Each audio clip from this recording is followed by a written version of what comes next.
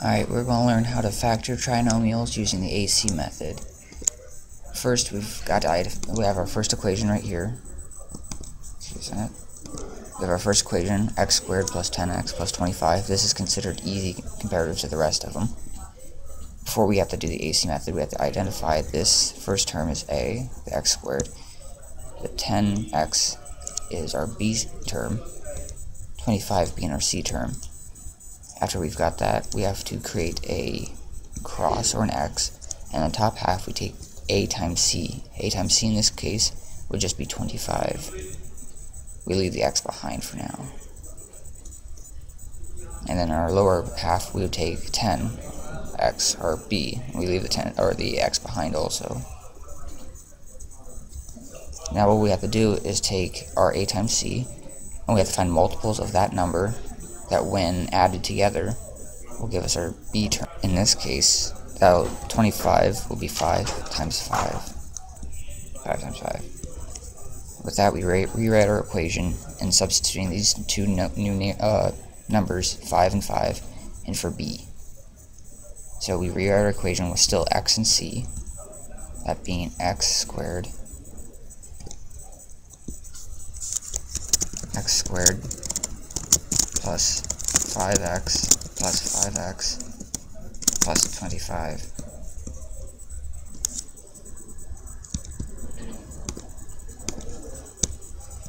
And with that, we do the grouping method to factor completely, which we take this, we split the equation in half, and then we take the greatest common factor out of each of those. Greatest common factor out of the first one would be x. I'll just do it right here we take out an x, that leaves us with an x plus 5. x plus 5. Our second equation, 5x plus 25, our greatest common factor, would be 5. 5 parentheses, uh, x plus 25.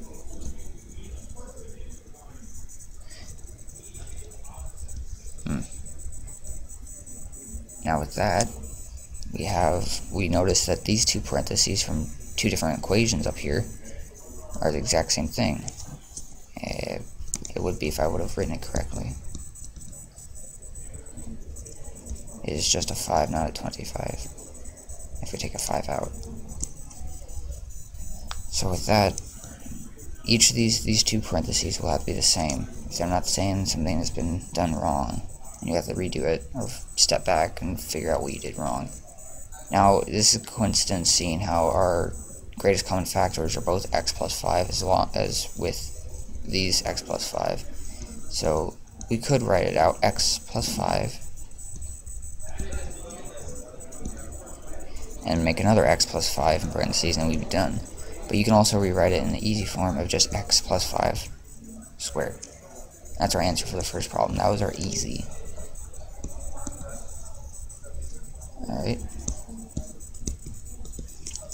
Now for our medium. Ah, forgive me. Now for our medium, we'll do this a little bit faster. With this, we have an actual variable or a coefficient in front of x squared in our a term. Now I've identified the a, b, and c this time. And again, we're going to use our cross, or x. Now for our top half, again, we're going to take a times c, but in this case, a has a coefficient of 4.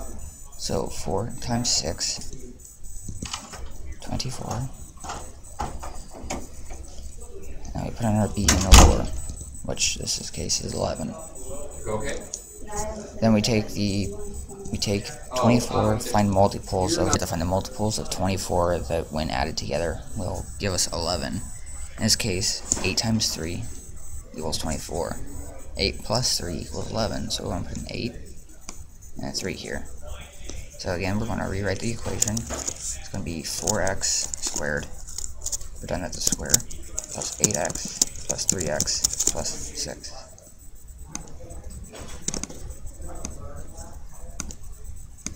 And again, we're going to uh, factor by grouping.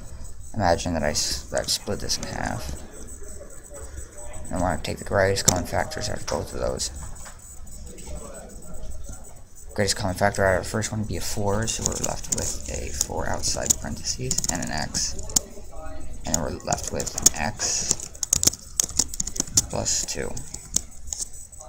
In our next equation, we're going to take out a 3. We take out a 3, get a 3 times x plus 2. Again, our two parentheses match up, and we're in good shape. We, we, we, rewrite the problem with 4x plus 3 and x plus 2. And that is our medium problem. Now for the harder problems, give me a second. For the harder problems, we will get a negative for the b. Now with that, we're going to say this is a, b, c again. Put it in a cross. We've got 9 times 5, that's 45.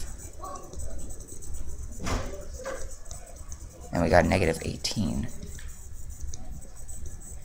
Now this gets difficult because instead of just adding the two variables, or the two multiples of 45, instead of just adding, we have to somehow subtract to get to the negative 18. So this time, instead of instead of subtracting a number by another number that adds up to negative 18, we're going to take negative 15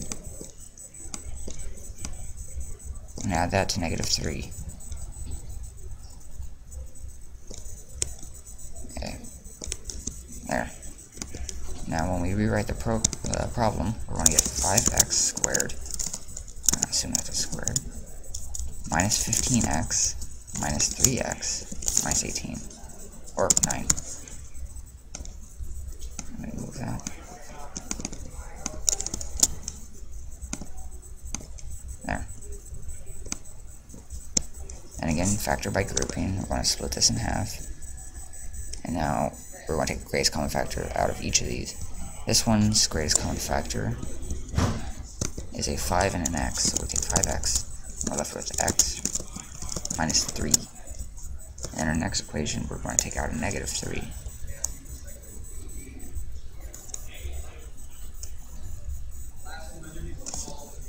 I apologize, I had written this wrong. It's not minus 9, it's going to be actually a plus 9. So we take out a negative 3. We're left with x minus. Again, our parentheses line up and match. And then we rewrite the whole equation.